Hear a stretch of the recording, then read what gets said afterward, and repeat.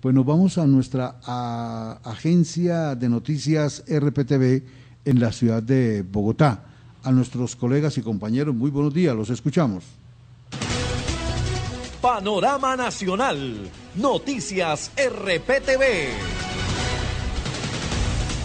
Hola, ¿qué tal? ¿Cómo están? Bienvenidos a este panorama nacional a esta hora del día. Termino contándoles el fuerte llamado de atención al alcalde Enrique Peñalosa por el despido de mil trabajadores de aguas de Bogotá, Lais Valley. Carlos, panorama nacional, RPTV desde el sector de San Cristóbal, al sur de Bogotá.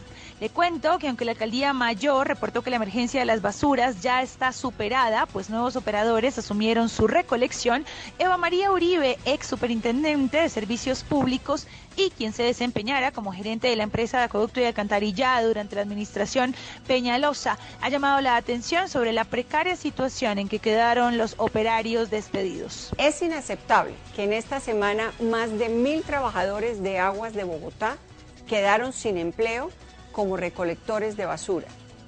Lo correcto hubiese sido que los pliegos de la licitación de las áreas de servicio exclusivo de aseo que otorgó recientemente la alcaldía hubiesen contemplado la obligación de los concesionarios ganadores de cada área de contratar a estos trabajadores. El esquema de aseo implementado por Petro fue un error monumental, pero las decisiones de Peñalosa desconocieron las necesidades de estos mil operarios, concluyó. Y nos vamos, no sin antes desear un feliz día a todos los colegas que laboran en radio. Hoy, Día Mundial de la Radio, el homenaje es para aquellos hombres y mujeres que desde un micrófono hacen volar la imaginación y nos acompañan diariamente. Sin ustedes, la radio nunca será posible y en Colombia hacemos radio de calidad, afortunadamente. Así que un abrazo para todos ustedes. Soy Carlos Armando Gómez. No olviden seguirnos en nuestras redes sociales. Que tengan todos un excelente día. Hasta pronto.